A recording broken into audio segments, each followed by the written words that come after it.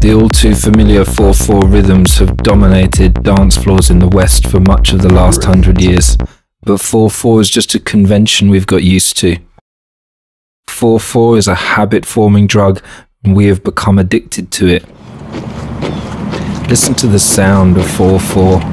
It is the sound of marching boots. It is the sound of following orders. It is the sound of convention.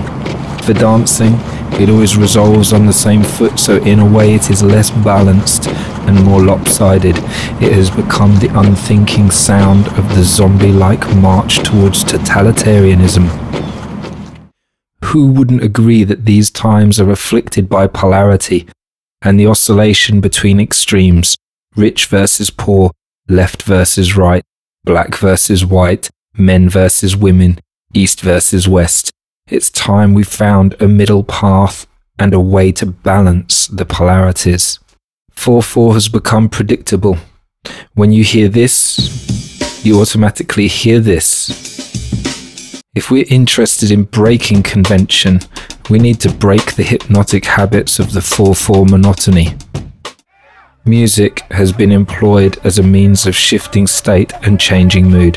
Music is the omnipresent essential for shamanic and religious practices. It is the key to adopting a new mindset and shifting old patterns. Music is the reprogramming language.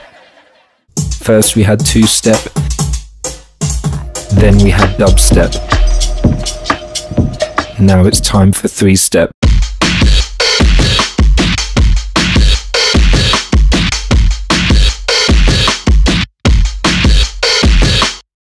The music of three step forms triangles, the superior shape in every way, the strongest architecturally, the most geometrically enticing. It is very rare to find squares in nature, but triangles are everywhere. It's time we reprogrammed ourselves and moved away from the march towards a totalitarian nightmare. Check out Three Step. Open your mind and dive inside.